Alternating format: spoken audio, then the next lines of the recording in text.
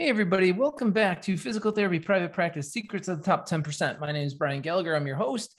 And this week we have another guest on our show, and this is Steven from Limber Health. Limber Health, right, Steven? You got it. I didn't want to say the wrong second word because I know everybody's got a particular there. And Limber Health has been a uh, business associate of ours, and we've been working together these guys have been great. The founder, Mark, is fantastic, brilliant. They've done all the heavy lifting that everybody else is following in the remote therapeutic monitoring space. So I'm going to let Steven just kind of introduce himself. He is also a physical therapist, which I think you guys all know and like. Um, we like being PTs, helping PTs around here. And that is what he is doing. And that's why he's here on our podcast. Anything that we can do here at MEG that's going to allow you to live the life you've always envisioned for yourself or advance the profession of physical therapy is what you're going to find here with us. So um, this does both, honestly. And I will just turn it over to Steven and let him tell you a little bit about his past. Thank you, Brian. Yeah, appreciate it. And couldn't be more excited um, to, to, be able to speak to you and and everybody um, you know who, who, listens to what you put out there. And that kind of goes back to pts helping pt so i'll take a roundabout way to, to hopefully tie that back in given my, my background. So like you said i'm a pt i'm actually athletic trainer but by background prior to that went to pt school at northwestern. Uh, thought that's what i kind of wanted to do work with uh, you know athletic population and um, took a, a job right out of school that I thought was going to be a, a really nice, unique situation um, where I could see that population. It was for one of those larger uh, kind of enterprise corporate groups, and um, realized pretty quickly that wasn't wasn't where I wanted to be. Uh, and then I spent the rest of my clinical clinical career in, in small private practices, um, mostly in the Chicago area where I'm from. Spent a couple years living out in Colorado, but mom and pop shops um, from from there on out until I actually applied um, to a, a, clinical role uh, with the medical supply company. So I was kind of looking for a little bit more opportunity for growth um, than, than, where I was, and, and, frankly, maybe a little too risk averse to uh, start my own practice. And that's why I appreciate so much what you're doing and, and people like you are doing to you know maybe if i had some of this back then maybe i would have considered that that that route a little bit more right um, to have somebody with that support and so anyways applied to that that clinical role interviewed with that company and found out the role had already been filled, but they liked me well enough that they asked if I would consider a, a sales role, which I never ever would have even thought to apply for or, or pursue. And uh, yeah, I kind of just went for it, gave it a shot. Uh, figured get my foot in the door, get a new experience, uh, and it wound up working out pretty well for me. So, and I spent three years um, with this company selling mostly therapy supplies and equipment, managing a team of, of folks under me until I was uh, contacted by Mark, actually, who you referenced, one of our, our Limber co-founders, he started the company with his brother, Michael, who's our CEO. Mark functions as our CMO. Mark reached out um, to, to gauge, you know, kind of my interest in, in, coming on board. And I was immediately into the mission. So that, that took no, no convincing of, of any kind. And I'm, sure we'll get into that here a little bit more. Uh, and ultimately, it, it, wasn't an easy choice because I had a pretty good situation, but that's why I decided to, to make the jump, come on over to Limber, um, and it's going back to that PTs helping PTs, just, just a better opportunity for me to have a more significant impact on the profession, specifically with private practices. As you know, so many challenges that that practice owners are dealing with, and this is an opportunity to provide a little bit of relief or you know or something um, positive. And so, really excited to be getting the word out. Yeah, and I can understand that. I I think there's some value in doing sales for products, you know, getting people the tools and products they need to best succeed in private practice for sure. But I think there's just something at least in my mind in my my head my heart there's something different about providing services to another providing help to another person in a, in a way that enables them to live a better life right the tools just make the job a little easier but the stuff that we're talking about here actually helps to um, improve the quality of life for all team members, including the owner in the practice and people in the community. So it's just a little bit more far reaching. So I can see your reasoning for making that switch. How long have you been with Limber Health now? Um, it was it was early August, so about nine nine months, nine ten nine months. months. Okay, mm-hmm. good. So you're you're just cranking along there. You know, we ran into each other at PPS, which was always good fun, catching up with you and Mark, and and I think Mike was even there.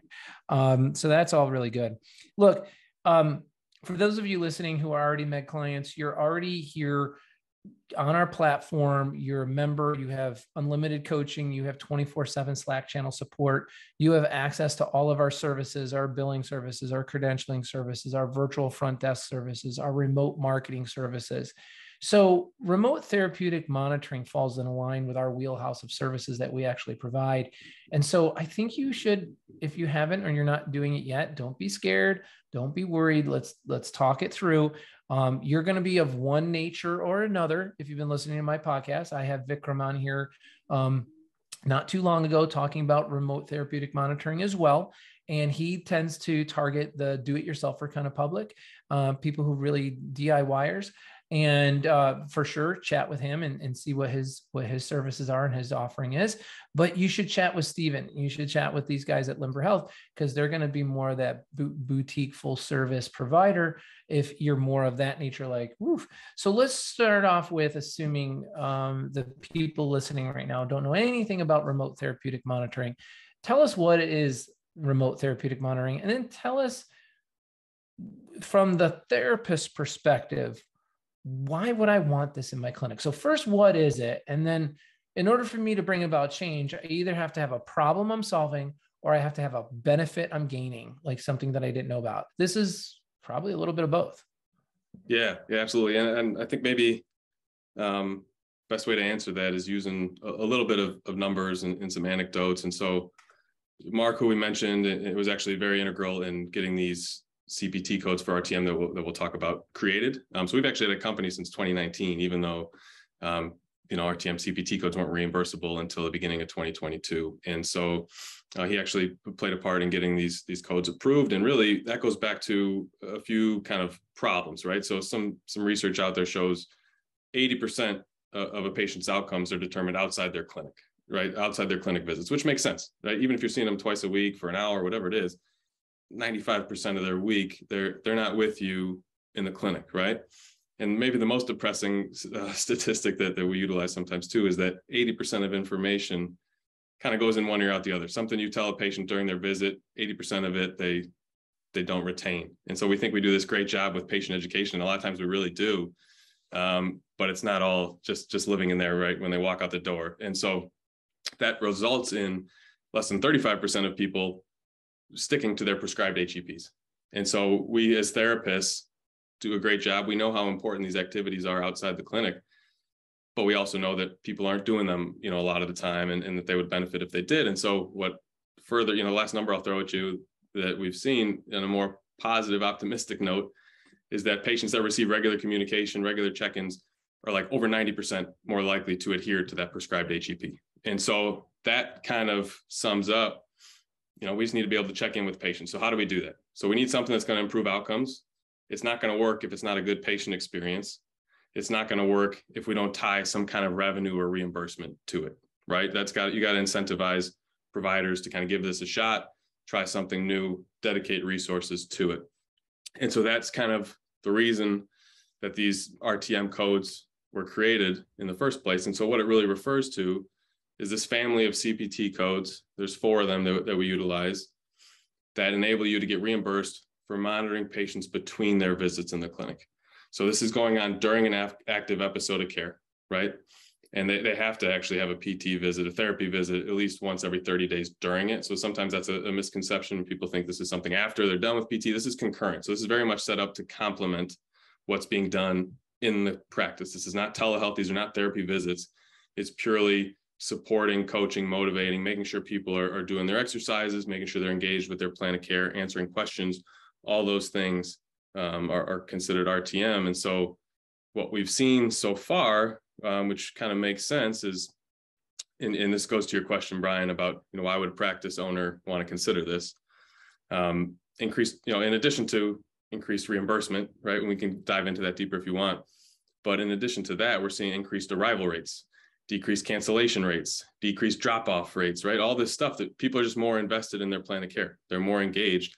And so they're less likely to drop off after three visits. And so, what's one more thing that's kind of interesting there that I like to talk about is we actually don't see a huge change in total number of, of visits. Sometimes that's a concern for practice owners, right? It's like, well, that's great. Um, that they're having people check in with them, but does that mean I'm not going to have as many visits, you know, in the clinic? And so what we've seen so far is that stays about the same. And that's because people are getting better faster. So Mr. Jones might go from 12 visits to 10 visits, but Mrs. Smith is going from three visits to 10 visits, which is making up for that. And so it's a better patient experience. People are getting better faster. Um, and that's, you know, so far so good. That's, that was why these were set up. And that's what we're seeing thus far. Well, you know, it, it's interesting. It comes down to the basic law of psychology, right? The more communication you have with somebody, typically the more affinity you share, you know, which is definition of likability of one another. You know, the more you you like each other.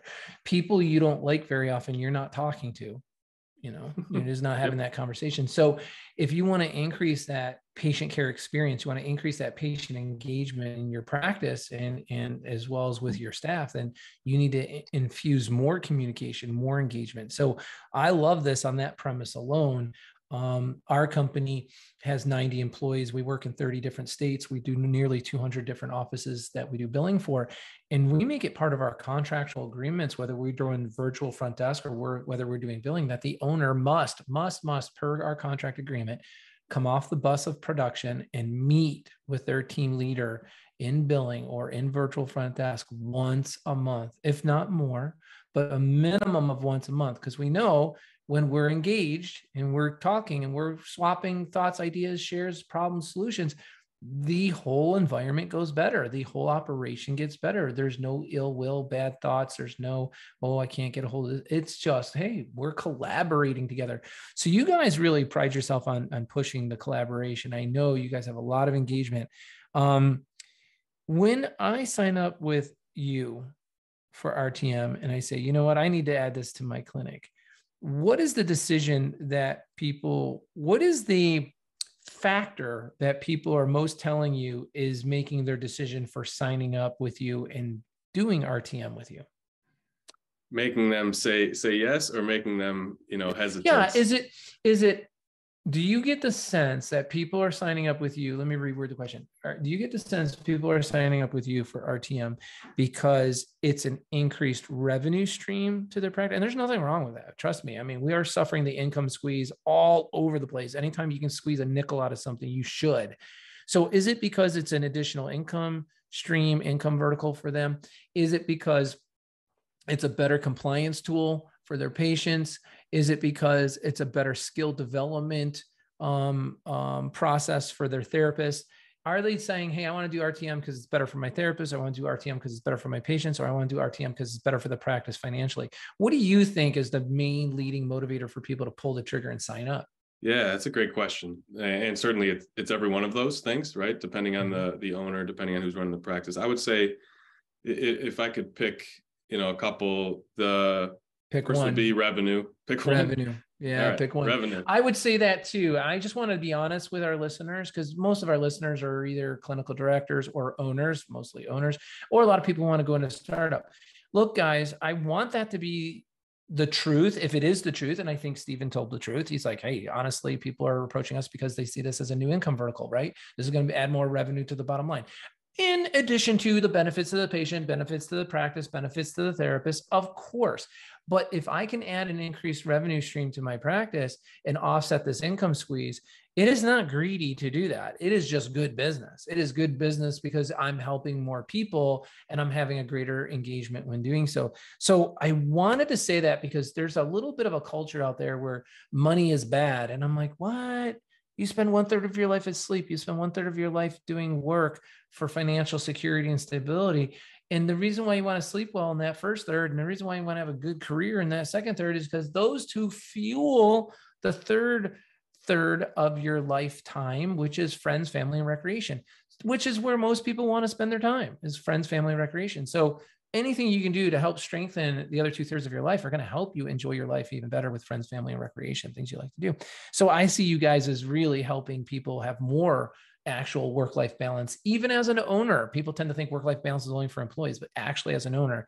So they pull the trigger. They're like, you know what? This is going to bring some money to the bottom line. On average, a 2,000 square foot office with three therapists, five staff, what are they talking in terms of just rough income numbers on something like RTM? doing 150 visits a week? Yeah. rough. I'm nailing you down here, but I am looking for that because people want to know, you know, and you can lowball it a little and say, at least you're going to do something like this, but you'll probably do more. Yeah, of course. It, it you know I got to throw out there, and you know it varies. It varies by patient population, insurance type, and coverage, and all of that. I would say if you're yeah, looking for to, yeah, if you're looking to to tie it to a number, um, I would say you can look for over a hundred dollars in profit. Uh, uh, you know, there's different systems, right? So the way we set it up, which we can get into more if, if you like, um, we're, we're looking for a next, lot yeah. of patient engagement, right? And that that mm-hmm. would likely result in over a hundred dollars in profit per patient episode when they become an engaged limber patient. I know it's not exactly how you asked me to answer that, but hopefully that helps, right? People can just. What's an episode? What's an episode?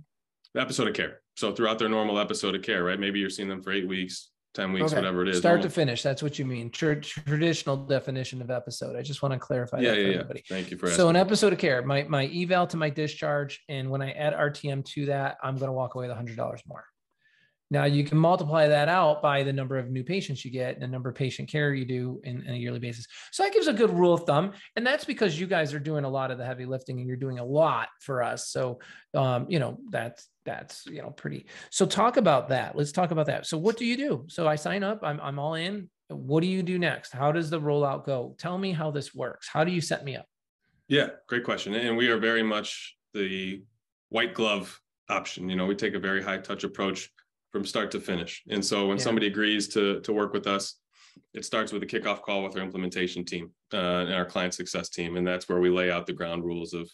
All right, how are we going to set this up? When are we going to do training? Because we're providing training to all their staff, clinical staff, admin staff, billing staff. We're providing all of that. When are we going to do the training? When are we going to go live?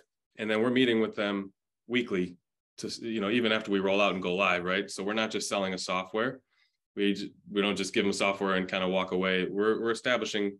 I think you use the word collaboration. Collaborative partnerships is what we're looking for, and so mm-hmm. we're meeting regularly even after to ensure their success um, with the use of this. And and there's a couple of reasons we do that. Number one, that's just that's what's right. Um, but one thing I haven't said yet is we actually take an approach where we provide the staff to do the monitoring. So going back to that white glove, we want the workflow in the clinic to have to change as little as possible.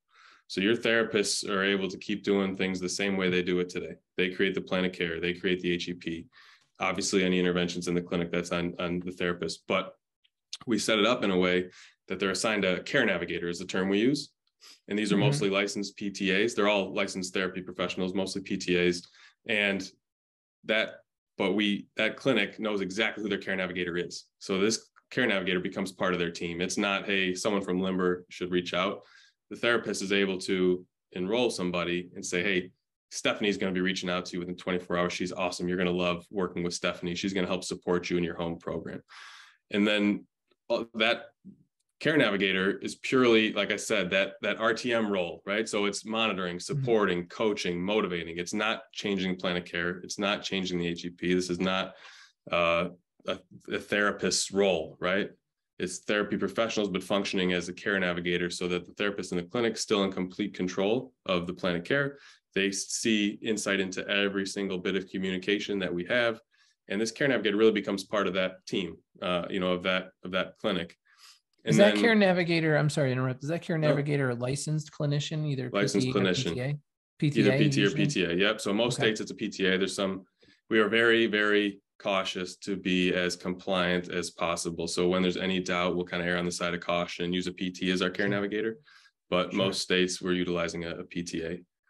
Okay. Um, but then going to kind of tying that into our whole high touch white glove approach, what I'm trying to get to is saying that even our financial model, you know, how how Limber makes money is tied to very similar um, milestones to the to these RTM codes. And so basically, we're incentivized for this to go well for the client because they're not going to be paying us unless they're going to be hitting units to where they can get reimbursed. And so, so you guys kind of share the journey financially. Completely. Gotcha. So you're as motivated to see it go right as they are. You got it. Yeah. So there's that's, no, that's, you're getting paid. It's not like you're getting paid whether they do well or not. That's not the situation. Right. So, and, and two reasons that's important that you can already mm-hmm. probably see, right? Number one is there's no way for a PT group to lose their shirt on this, right? Like mm-hmm. it's it's very low risk um, commitment. But then also we're in there every step of the way to ensure success with it because their success is our success. Right. I love it. Love it. Um, how long is that rollout period to implement on board a, a new clinic? Good question. It depends a lot uh, on really two things. Number one, on the clinic side, how large are they? How many therapists they have? How quickly can we get all those therapists on a training? Because we mm-hmm. like to mm-hmm. have at least an hour of their time, which you know is is a lot easier said than done to, to block schedules and whatnot. And then it depends on our care navigator situation because we're never going to let our care navigators get beyond a certain number of patients on their caseload.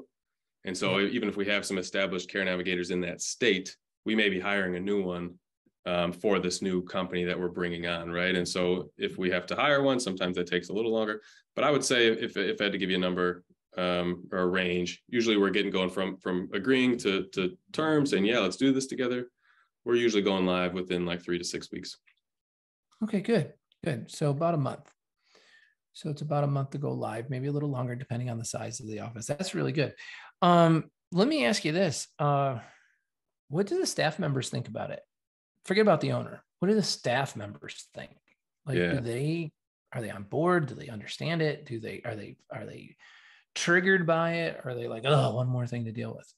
I think the way it's introduced to staff members is one of the most important things and provider engagement therapist engagement is is mm-hmm. our largest challenge and therefore our top priority gotcha. everything we set up is with that in mind so we can't make extra clicks for them to enroll patients right we can't make right. extra work and that's why we're trying to take as much off their plate as possible but don't get me wrong this is a collaboration right this none of this happens if the therapists aren't enrolling appropriate patients um, into RTM so that our care navigator can then reach out. And so we make it as simple as possible for them with providing literature and how, you know, we even during that training, we're going over the language of how should you introduce this to your patients, things like that. Mm. But to answer your question a little better, as far as first instincts, um, it's it's a mix, right? Some patients or some therapists, I should say, who are more that that innovative mindset, they're like, yeah, we know digital technology is, is coming. We got to embrace it. This hybrid approach sounds like a promising thing.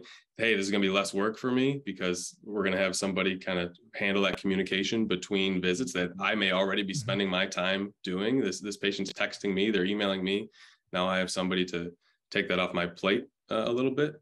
And then there's others who are skeptical about any kind of change. Um, and so the, the the two biggest challenges probably are just change in general, asking them to do something different.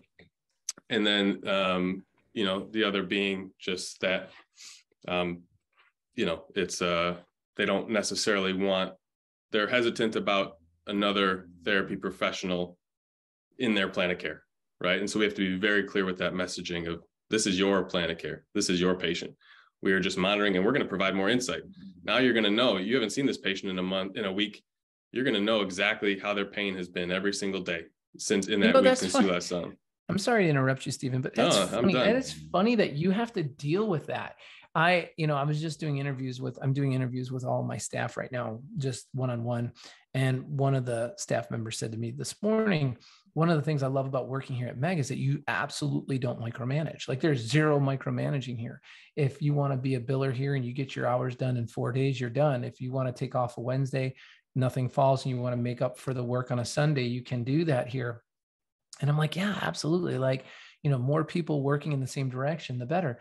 And so I look at this RTM, and if I was a clinician, I'd be like, bring it on, man. Bring you're gonna bring somebody else in who's gonna help me with my patients, get better execution, better compliance, better, you know, outcomes, you know, better communication.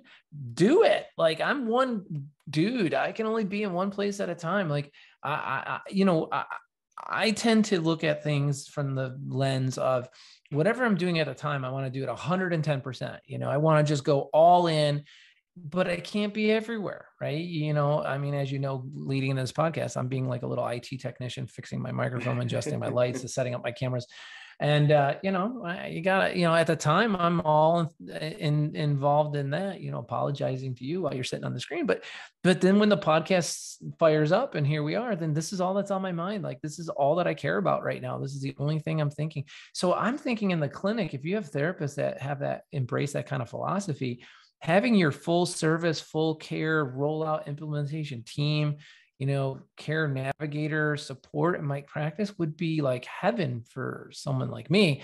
I mean, that's just my viewpoint on it. So but maybe I'm missing something. Let me ask you about this.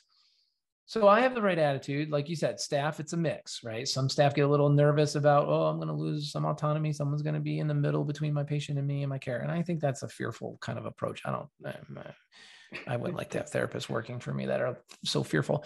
I think people should trust in the delegation and cooperation and collaboration of working with other licensed professionals and not worry about that. But that's just me. I don't know what you think. What do you guys think? You guys are listeners. I I just feel a little differently about that professionally. But moving past that, let's say that's done. We pulled the trigger. What is the workload that actually falls on the average clinician under your model what would you say that is to me as a as a licensed therapist not as an owner we'll talk about the workload on the owner next but let's talk about the workload on the staff therapist Yep. And, and as you can imagine, just about every owner is very conscious of the workload on their staff, right? And so that's that's always an important point. I, I hope they are. Um, yeah, I can imagine. And so it, it it's not much. Um, it comes down to taking the 30 seconds to introduce this to your patient, right? And why right. they should consider it, why they should respond when that care navigator reaches out. Just the fact that the care navigator is going to be reaching out so that they're not caught off guard w- when they do. All right, let's we, stop there. Let's stop yeah. there for one second. Let's role play that. I want to role play that. You're the therapist, you're the care nav, you're you're the therapist, you're talking to me as your patient. I am your, you know, 69 year old, you know, total hip you know revision patient who's done well but i need you know prolonged care at home. So break it to me break it to me. How how how would that sound? I'm putting you on the spot here i know but you're a therapist and and you're coaching other therapists on how to roll this out to their patients. So roll it out to me. All right stephen so you want to talk to me about this thing i'm supposed to do at home? What, what are we what are we what are we looking at? Yeah so we use this really cool new program. It's it's it's really innovative. It's called limber um, and really, it's just we're actually going to provide a, a therapy, a, a, PTA, as a care navigator who's going to be checking in with you, um, just to answer any questions you have, making sure that you're you're doing well with the exercises that we just went over, um, and so that we can make sure you're sticking with your plan of care, and that she can answer any basic questions you have. And you're really going to like her. She's great. She's helped a ton of my patients so so far. So is this is this girl somebody I know? Is she here in your office? She's not here in our office, but she is part of our team here. Um, and she works remotely and she does this for a lot of our patients. And we've heard some really, really good things about the relationships that they've had with her. And um, I think it's going to be really, really good for you. So how does she know me? How does she know what I'm going through? I mean, I know you and you know, we've been together now for over a month and a half and and I'm not opposed to talking to her, but is she going to know stuff about me? Yeah, absolutely. So we talk all the time. So she's going to see everything that I write in, in our note from our, our visit today and the visits that we've had. And then she's going to let me know too what you guys talk about. She's going to let me know how you've been doing with your exercise program. If you're running into something where you're having some pain with an activity, she's going to let me know about that. Um, and so it's going to provide some extra insight for me too. And so that way, when you come back in we see you next time, I'm going to know exactly what's going on and we can kind of get right into it and, and progress your plan of care to get you better as, as fast as we can. All right. Well, my son said I shouldn't give out any social security information or credit card data or DNA strands. So I'm going to not share any of that with this person. I'm sure she's not going to ask me that, right? That's no problem at all. There won't be any any any personal information they need to share. We just do need you to download this app, which we'll help you with and then she'll be reaching out to you. Yeah, I've got an iPhone 14 Pro. I really like my iPhone, so we can do that. So if I understand, you're basically just bringing in another team member, and now there's two of you working with me, one of you working with me at home, and one of you here for my visits. Is that correct? That's exactly right. It just helps us progress your plan of care appropriately when we can have somebody kind of be in our eyes and ears outside the clinic and they don't need to talk to you all the time they won't be bothering you if you don't want to be talking to them but it would encourage you um, to, to respond and, and let her know how you're doing. All right. All right. And how much does this cost me? Is this going to be costing me anything? I'm on a fixed budget. No, this is all going to be, I'll have to look, uh, check on, on your insurance, but uh, no, if you have your Medicare uh, patient, then I think you said you're 69 years old in this. I'm in this 69 scenario. on Medicare. Yep. I've worked my no, whole life. I don't want to get be, another bill. You know, heating oil is expensive these days. Absolutely. It's worth asking. All right. Well, that sounds good, good. When should I expect her to call? she's going to reach out to you within within the next 24 hours. So she'll be she'll be calling you once I assign this home exercise program to you. You're going to get a, a, text message and an email to help you download the app and access your exercises, and then she'll be calling you within the next 24 hours to to set up a, a time to talk. All right, good. That sounds good. All right, so that's good. So you know, you get some of those kind of questions. I'm just kind of being a little humorous, but um, you know, you're you're talking elderly people, and for the most part, now this is covered by commercial insurance. Yes, no, maybe, maybe. Yeah. So that's a a very good question. Um, it is several commercial. I mean, we have like over 30 payers that are, are, covering this, but of course, with anything insurance, some are, are messier, stickier than others.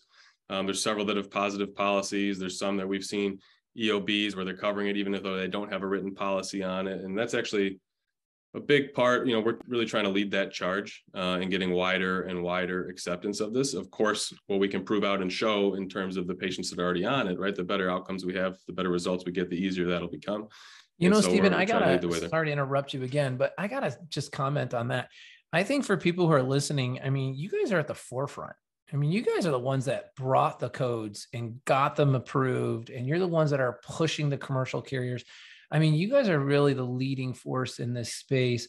Um, not to say that you're the only ones doing it, but I, I really do applaud you. And I think we need to stop here and just give you guys some credit for doing the heavy lifting. You know, a lot of people are going to benefit from your heavy lifting, and you guys don't mind doing it because you're benefiting the profession and you're helping our public. So I do think you deserve credit for that. Um, it's always best to, you know, just give credit where credit's due. You guys are the originators of this kind of thing. In my book, in my mind, uh, it, it feels like that to me. So the workload doesn't seem to be a problem with my staff. Um, staff members thinking about it. It's all about how you present it, which we've communicated here, I think, which is really good. Here's one thing that's come up. Um, so I, I, hope the listeners have a picture of how this goes. It's very remote, it's very assistive, and all that. Um, this may be unfounded at all, but somebody asked me to ask is this going to open my clinic up to more frequent audits and inspections? Because, like you already answered about commercial carriers, some do, some don't, some have policies on it, some don't. They still, I have a billing company, trust me. It's it, these insurance companies, man. I mean, it's like, you know, play by the rules when it benefits them, but don't play by the rules when it doesn't benefit them. They can make their own rules whenever they want. So I'm not going to get started on my soapbox of billing, which is why I tell practices across America, you have no business doing billing. You never went to school for it. The rules, regulations, compliance standards of practice, appeals, denials, rejections, wearing orange and black for doing one thing wrong, just innocently doing it wrong is just such a high risk. It's ridiculous that people even consider doing their own billing. I can actually do it with my professional staff, oftentimes for less money annually than what they can do themselves. And if not less, maybe a little bit more, but a much better service. So you're talking to the choir when you're talking about this billing dynamics, and you guys are fighting the fight. But the question has been asked is Does this trigger? my practice to be more in the limelight, more in the spotlight for potential audits. What are your great, thoughts on that? Do you have any info question. on that? Yeah, I mean, the short answer is, in my opinion, it this part's not opinion. It hasn't happened to our knowledge. It will happen. Is my is my opinion. Right? It's going to happen mm-hmm. uh, at some point. Mm-hmm. And so we, like I said before, are, are, always erring on the side of caution when it comes comes to compliance. Rick Owenda, who some of your listeners might might be familiar with, he, he's an advisor oh, of yeah. works exclusively with us. We, we lean on him um, for for things like this. But as far as the platform goes, we track literally to the second every bit of communication that this care navigator has with the patient. And it's all documented exactly what was discussed, exactly what form of communication, exactly how long it took. That's how we come up with the number of, of units that are being billed, right? But that we keep it for years. The, the group you know that we're working with has access to that at all times in real time they can see and so if there ever is an audit down the road we're be we're able to pull that and say here's exactly what happened that's what added up to these amount of, of units and that's why that's what was billed. And so I think you're safe. Not that anybody wants to get audited or deal with that, but um, should be totally, totally safe if and when that happens. Well, I love that. I absolutely love that. Like, you know, people ask me stuff about audits. I'm like, look, man, you just got to be prepared for an audit at all times. You got to do the right thing all the time. You have to have everything documented, filed, sourced all the time. So that the conversation of should I be worried about an audit, the answer is no. Whether you get audited or not is not within your control. It will happen randomly. And if it does, just throw them to data and make them go away. It's not a problem. So I love that. I love that answer. I think that's a really great answer. Um, those are all my questions. I think this is something that people really have to experience for themselves, really have to contact you.